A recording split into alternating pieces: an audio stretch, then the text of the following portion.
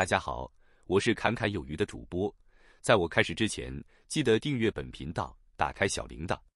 这样我发表新内容时，你才能获得最新的节目通知。高通与苹果在晶片领域的竞争这几年一直都很焦灼。数据机晶片领域，苹果一直难以摆脱对高通的依赖。科技媒体 Tech Insights 近日发文称，其初步的拆解显示，iPhone 十六系列。使用的是克制化的高通 X 七幺数据机晶片，而不是前一年的 X 七零 Slim Modem 的下一个逻辑更新 X 七五。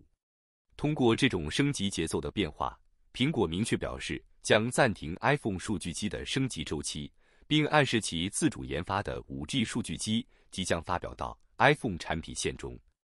二零一九年六月，苹果宣布收购英特尔的数据机部门。当时，英特尔是 iPhone Advanced LTE 4G 数据机的唯一供应商。然而，随着 5G 的临近，苹果认为他们可以扭转英特尔 5G 数据机设计长期延迟的局面，以配合新空中接口技术的推出。如果苹果未能实现这一目标，另一种选择将是依赖高通。而当时，苹果与高通正深陷一场旷日持久的 IP 和许可诉讼。另一方面，高通则战略性的将 5G 智慧型手机的推出时间推迟了整整一年，以迫使苹果解决诉讼并采用其 5G 数据机晶片。时至今日，苹果的 5G 数据机开发专案正在从 5G 数据机效能和网络相容性问题中恢复过来。经过五年数十亿美元的投资，苹果似乎终于可以将其自研的 5G 数据机设计产品化。其很可能在二零二五年初的 iPhone SE 更新中，预计他们生产自己的五 G 数据机的首次商业化努力将是适度的。五 G Slim Modem 或可能集成在 A 系列处理器中，但可能仅具有当前五 G 功能级的子集，例如不包括毫米波五 G。另外，摩根士丹利大摩九月底的分析指出，苹果旗舰新机 iPhone 十六系列的交货周期。较过去三个 iPhone 的交货周期缩短，iPhone 十六成为自 iPhone 十二以来最不受欢迎。摩根士丹利调查显示，iPhone 十六的需求低于之前。截至九月底，即开始预购两周后，iPhone 十六在美国的平均交货时间为十五点二天，而去年同期 iPhone 十五的平均交货时间为二十五点七天，iPhone 十五的平均交货时间为十八天。摩根士丹利表示，当他们汇总所有 iPhone 交货时间数据时，iPhone 十六从预定到交货平均时间为十四天，是过去五年所有周期中最短的。摩根士丹利总结，苹果减少供应订单的可能性超过百分之五十，可能影响苹果十二月当季的营业收入。然而，分析师也认为，产品生命周期早期的交付周期预测能力仍然非常有限。大摩仍然更加谨慎地解读这些数据。市场解析，交货时间始终取决于苹果的库存量，而苹果从未透露过这个数字。因此，苹果实际上可能在生产足够的 iPhone 来满足其需求方面做得更好。然而，制造和苹果的时间表都存在实际限制。虽然永远无法得出结论，但将任何一年的 iPhone 与之前的 iPhone 进行比较。至少是部分合理的。摩根士丹利报告称，早期 iPhone 十六买家似乎是为了太旧换新，或被新机型电池寿命和影像系统的改进所吸引。目前为止，他们并不是因为 Apple Intelligence 才购买的。面对苹果在今年手机市场的如此表现，安卓阵营的大佬们已经迫不及待，准备推出今年的旗舰机行动平台。除了联发科的天玑九四零零等新品，高通新一代旗舰行动晶片平台骁龙八 Gen 四也已经同步推进中。近期，三星被曝光正在为新一代旗舰智慧型手机 Galaxy S 二十五 Ultra 对骁龙八 Gen 四进行了多次测试。而最新的爆料显示，拥有更高主频版本的骁龙八 Gen 四，其多线程得分获得了比上次更高的分数。此前曝光的疑似高通内部资料显示，其即将推出的新一代旗舰行动处理器骁龙八 Gen 四将会有两个版本，包括 SM 八七五零和 SM 八七五零 P。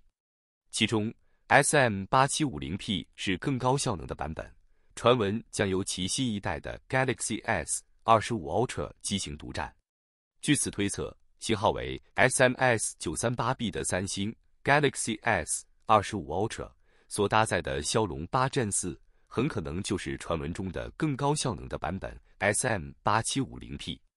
即高通骁龙八 Gen 四 For Galaxy，业界又称骁龙八 Gen 四领先版。而九月底，该晶片的 Geekbench 跑分已经流出。根据这次最新曝光的 Geekbench 六数据显示，型号为 SMS 九三八 B 的三星 Galaxy S 二十五 Ultra，其搭载的骁龙八 Gen 四的两个效能核心运行频率为四点四七 G，六个效率核心运行频率也高达三点五三 G，其多核得分获得了九千七百零六分。单核成绩为三千零一十一分，相比之前测试的 Galaxy S 二十五 Ultra 版本，当时效能核心运行频率还仅为四点二 G，效率核心运行频率为二点九零 G。这次提升后，多核效能提升了百分之七。作为对比，此前曝光的苹果 A 十八 Pro 的 Geekbench 六的单核跑分成绩为三千四百零九分，多核成绩为八千四百九十二分。显然，骁龙八 Gen 四的多核测试成绩超过了苹果 A 十八 Pro。另外，值得注意的是，此前曝光的 OnePlus 十三所搭载的骁龙八 Gen 四，虽然效能和四点三二 G 和能效率和三点五三 G 的运行频率均略低于上面的三星 Galaxy S 二十五 Ultra，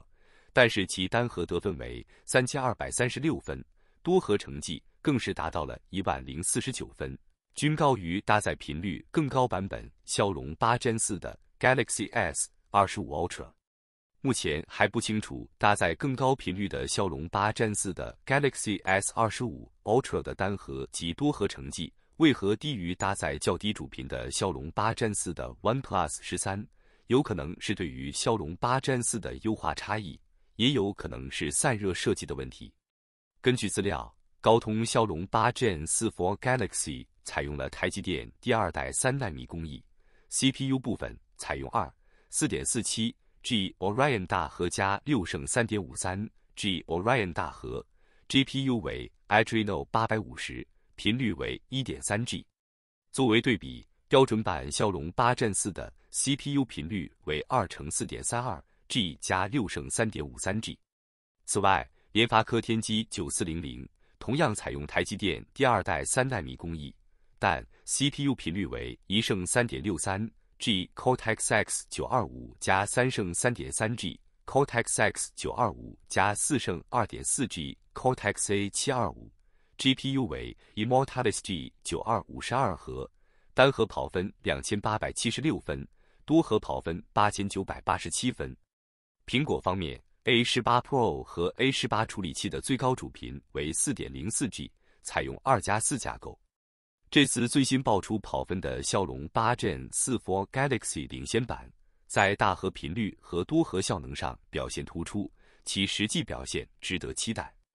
那么，本期影片到这里就结束了，感谢你的观看，期盼能与你产生共鸣。侃侃而谈，阔论有余。最后，请你点赞、订阅，这是对本频道最大的支持了，谢谢。